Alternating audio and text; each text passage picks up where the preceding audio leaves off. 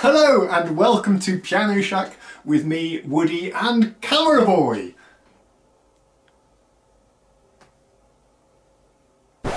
Hello and welcome to Piano Shack with me, Woody and Camera Boy. Hello. Today we are going to unbox this fabulous PSRX SX, be careful how you say that, 900. This is the flagship PSR Arranger keyboard from Yamaha. As it says on the box, digital workstation, but I think it sounds a lot better in French. Clavier Arrangeur Professionnel. Let's get started.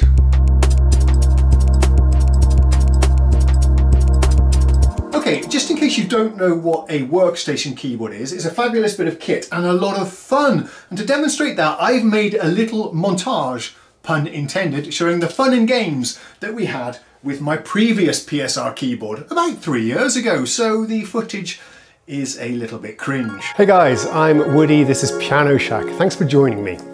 Today we have a very exciting episode I've been looking forward to unboxing. After this very awkward intro, we get straight into a review of my kitchen knife. Damn, that was a crappy knife. Get it over here! And I enjoy the first factory preset, probably a little bit too much than I should. You can use an arranger to do um, interesting remixes.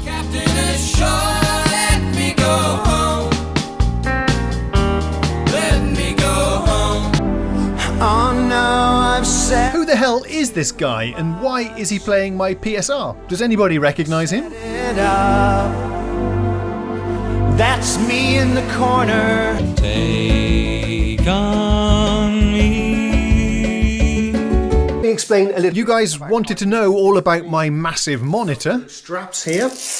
In today's episode, we are going to demonstrate exactly what makes... We got funky with some groovy styles. This thing really grooves. You're going to hear that in a second.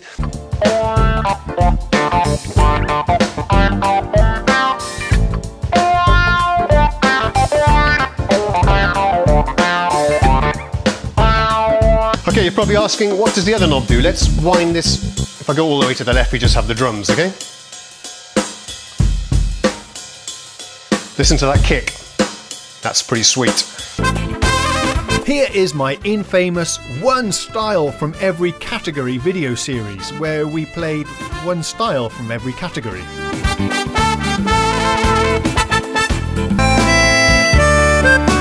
Can you play chords? now! Yes, uh, indeed, it didn't always go to plan.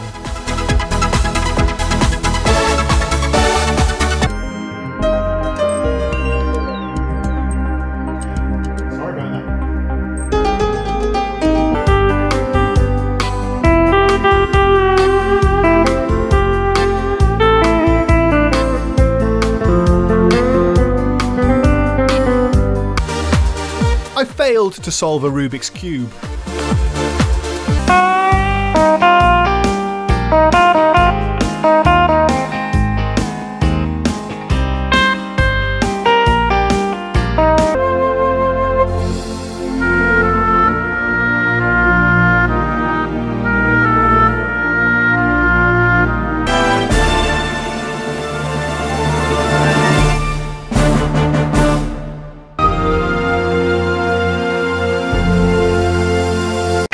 This video, we are going to install Yamaha's Euro Dance expansion pack, which I have on this USB drive, and we're going to answer the question, is it any good?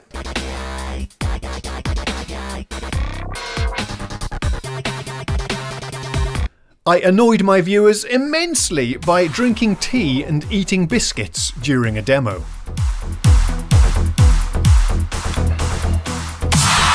What was this song? Something with jam, jam. Eat up the jam, eat the jam on your toast. Eat up the jam, eat it up. Yay! I'm going to call this the biscuit beat.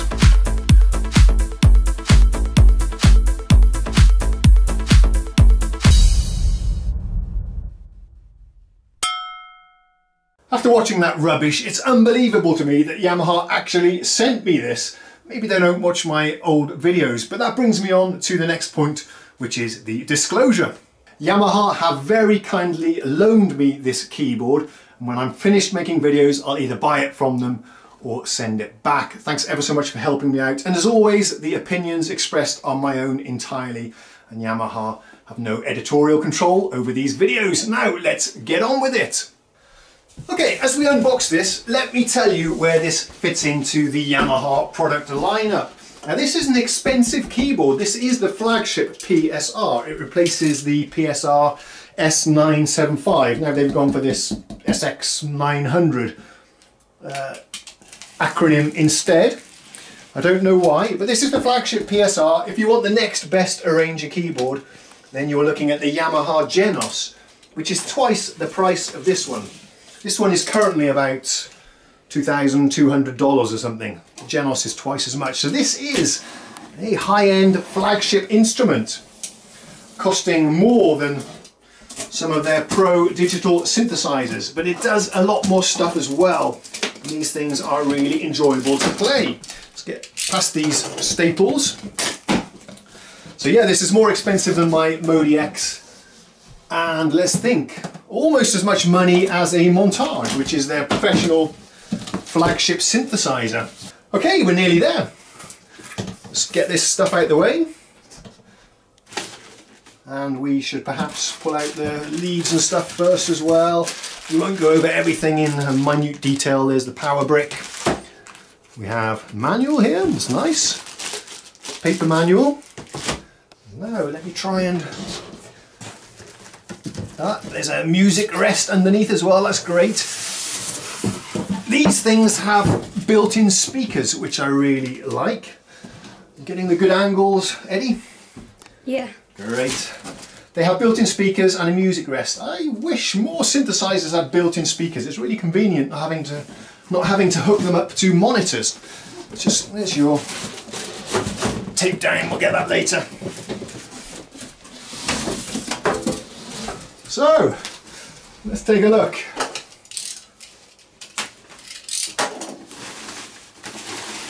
Oh, there she is. Now my last PSR was silver as you saw. They've actually redesigned it now to be black.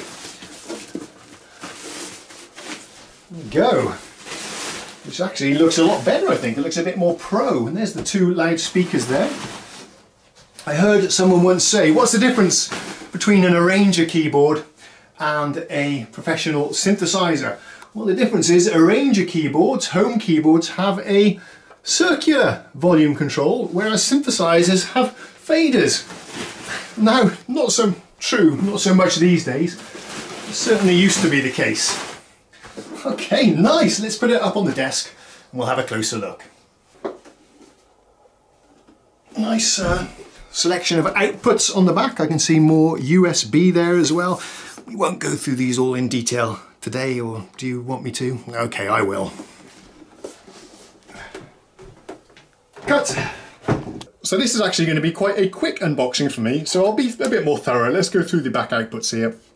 External power supply, we have a sub output, which is nice. If you want to send a separate signal to this output, you can.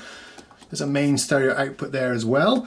We have an aux input for your MP3 player, phone, or whatever it might be mic or guitar levels and a mic guitar input there as well. That's nice. I have a microphone and we can experiment actually a little bit with the uh, the harmonization features on this. They little auto-tune your voice and add harmonies to your voice and stuff as well. So that would be fun if you can put up with my singing. There's the gain control for that one. Foot pedal inputs, two of those. MIDI in and out, that's nice to see. then we have a whole host of USB connections over there. This one, I do believe, sends USB audio and definitely MIDI to the PC via one USB cable. So yeah, I have to say, I'm really liking this brushed black finish here. It does feel, it's made of plastic entirely, but it does feel quite substantial this time actually, more so than my previous keyboard. The screen will power on in a minute, but it feels the same as my MODX screen. Oh, buttons feel a bit strange. Quite small and rubbery, but uh, yeah, that'll be fine. Here are all the performance buttons down on the bottom there, just like the PSR. They feel great, and this is unusual for a Yamaha. A mod stick. There we go, I've not seen that on a Yamaha keyboard before at all. So you've got your pitch bend there, modulation up and down as well. Yamaha traditionally have a separate pitch wheel and a modulation wheel there instead. Some assignable buttons there. Let's take a feel of the keys, which feel quite similar to my previous PSR. These are very light with quite a shallow travel, which makes them great for playing fast synth runs. This feels actually a little bit improved to what I had before. It's a bit more resistance on this one. It feels fine. Okay, camera boy just wanted to feel the keys as well. Have a, have a go. What do you think?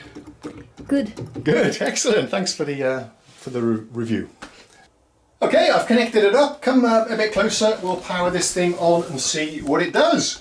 If I can find the button. Where was the button? There. Okay, let's take a look at the screen as we power this on then.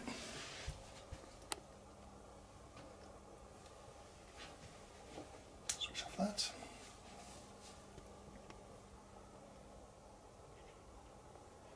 Taking a little while to boot. Taking a long time to boot. There we go. I heard the click as the speakers came into life as well. So what do we have on the screen here? This is the default factory preset then that's selected when you switch it on. Sky Pop, okay. With, let's see, these are the instrument sounds. We've got the Concert Grand, something VP Soft, whatever that is, a synthesizer I suppose. Oh, in the left hand, yeah. Seattle strings and a steel acoustic on our right hand. You can layer and split this. It's quite easy to do, but I'll demonstrate all those features in the upcoming videos.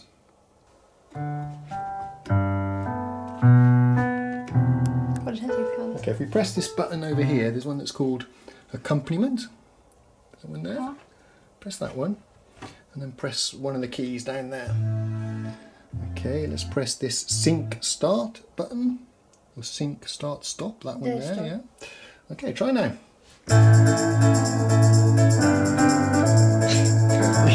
Keep holding down the same one. There we go. And then you can press ending.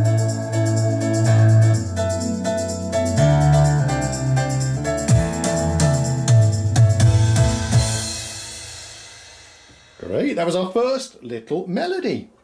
Thank you, uh, Eddie, there for playing the first song there. Now, those speakers sounded really good, but you won't be able to hear that yourself. You won't be able to hear that because you're just hearing the onboard camera microphone, which is not so great. So what we're going to do, I will play this for you in a separate video when, we, when we've got it connected up to the computer and we can hear it in the best...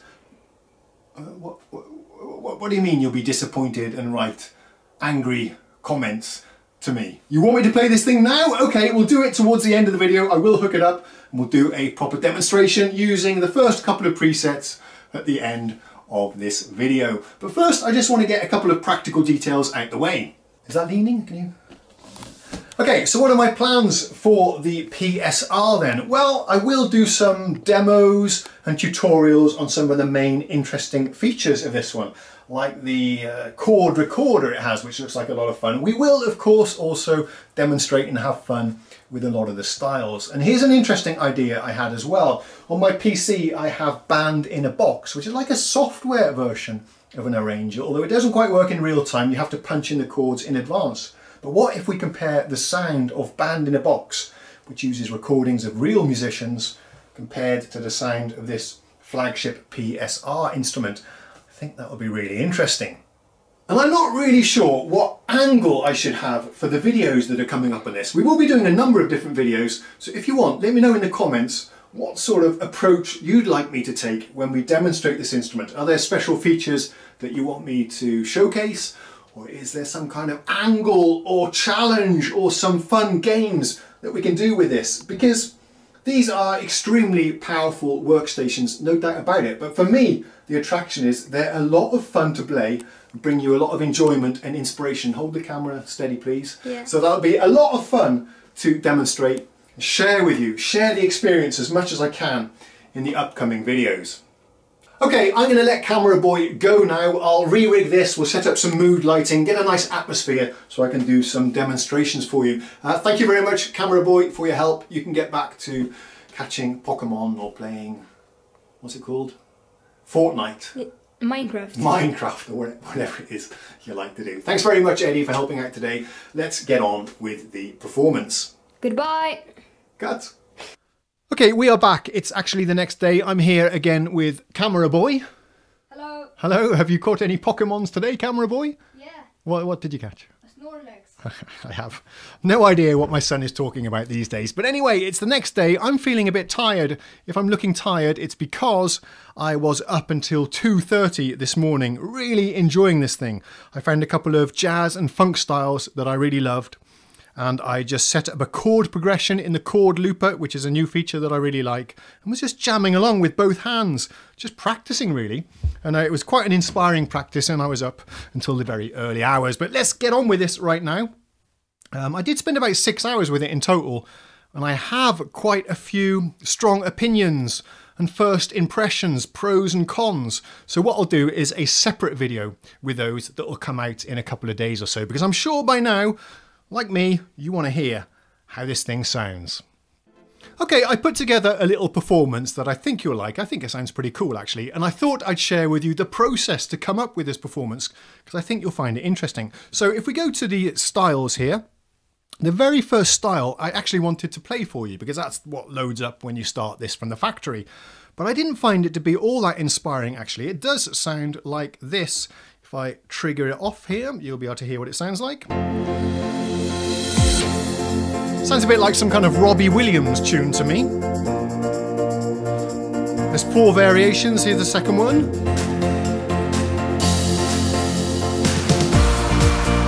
Ah, it's pretty cool.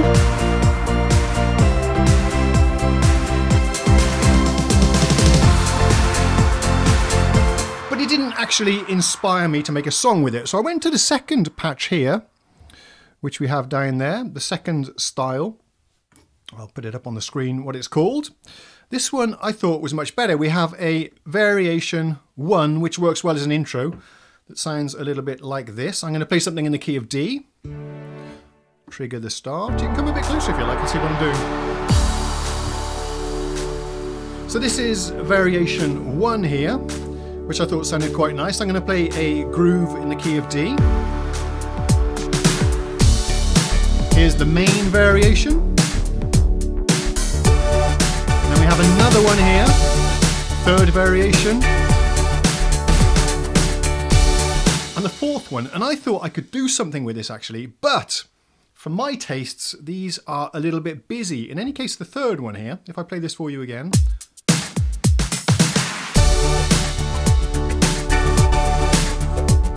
It's cool and all that, and very well programmed, but I think we can make this even better. And here's a nice trick I've learned. This is something I did with my old PSR, one of my favourite features on this keyboard actually.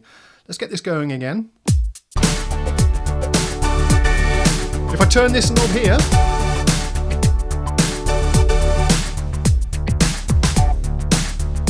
I've assigned it to style mute. You're doing a great job with the filming, Eddie. Well done. I've assigned it to film to what did I say? Film mute to style part mute. So as we play here, there's just the drums. I can bring in the bass, some guitar, and then all the way up we have the full Monty. If I take the other control here, this is good as well. It works the other way around. We remove the drums first. If I put it to halfway, we've got the bass, some simple chords. So we're just left with one part. So this is a really great feature. And I'm going to use this during my performance, I think, just to just to dial it back a little bit. Some of these styles are a little bit OTT for my taste anyway. Uh, for you, your mileage may vary. You might like you might like them that way, but I prefer to leave a bit of space in the arrangements so I can do something with my right hand. Otherwise, if you have everything on on these styles, there's not really much space for you to do anything else up here. So that's what we're going to do today regarding the styles. Regarding the sounds with my right hand then, there are some one-touch settings that are associated with this style. This is a layer of three different sounds I can see. Then we have this one. This will be triggered for the variation 2. Then we have this one for variation 3. Guitar. Quite nice. And a very big sound, but again, this is just a bit too much. I'll show you what I mean. If we have everything running at the same time.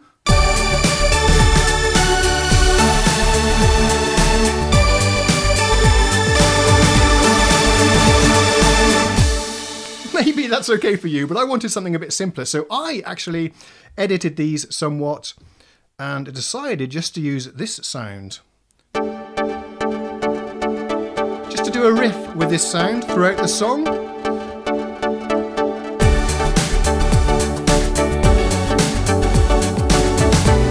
Yeah, that's sounding great. So that's what I did with the lead sounds and the style sounds. I think that's pretty much what I had to show you. I think I'm kind of ready to give you the performance now if you'd care to watch. Okay, let's do this. I'm going to initialize my patch here. We'll start with an intro.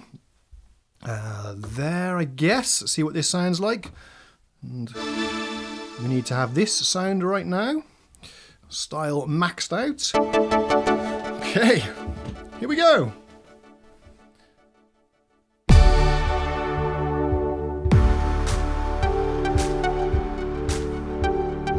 Actually, I wanted to start on uh, the note of G, so let's try that again.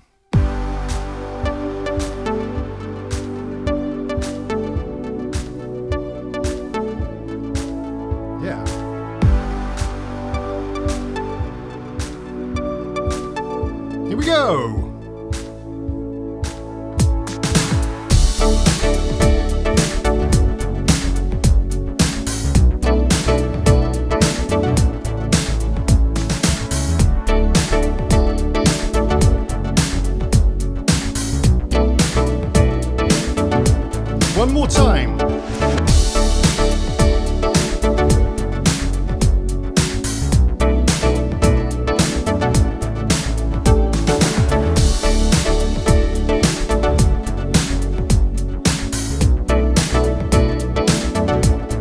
The bridge.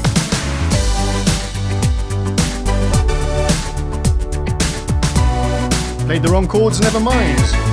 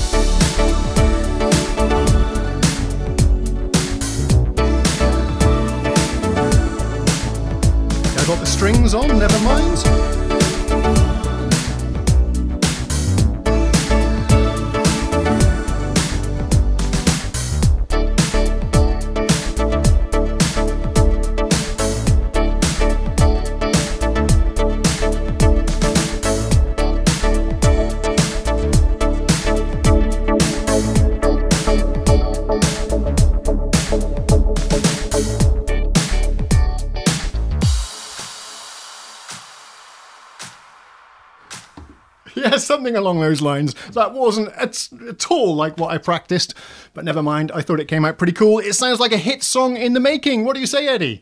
Good. Good, he likes it. I hope you liked it too. That's all I had for today. Many more videos about the SX900 coming up, so keep an eye on my channel. Subscribe if you haven't already.